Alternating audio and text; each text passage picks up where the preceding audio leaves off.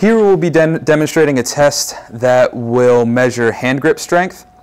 Uh, this will be done using a hand grip dynamometer. The first thing that you need to do is adjust the grip size of the dynamometer until the second joint of the index finger is at a 90 degree angle of the handle. As you see here, we've already pre-fitted the hand grip dynamometer for our subject. If you would need to adjust, that is done by turning the silver knob that you see in the white handle left or right to either increase or decrease the grip size.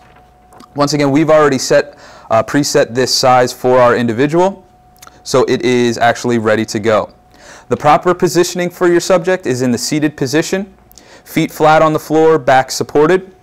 The elbow will be placed at the individual's side and bent at 90 degree at a 90 degree angle. The dynamometer is placed in the subject's hand and you will basically instruct them to squeeze as hard as they can for two to three seconds and then release. After this squeeze, you, the dynamometer will output a force that was generated by the individual and you will record this measurement.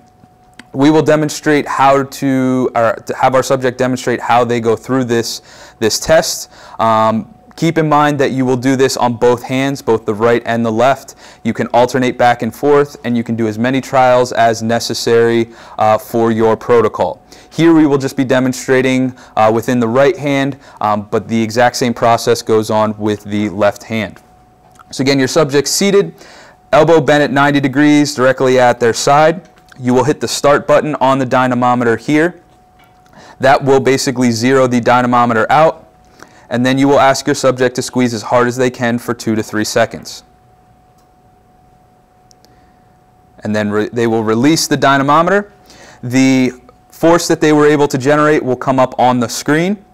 You will record this on a data sheet or where it is necessary.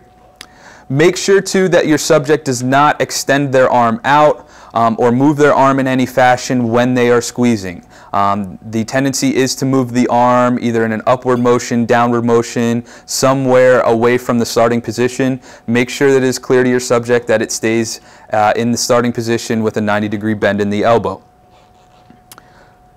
To repeat this trial, all you need to do is hit the start button on the dynamometer again. This will zero it out and you can repeat the trial.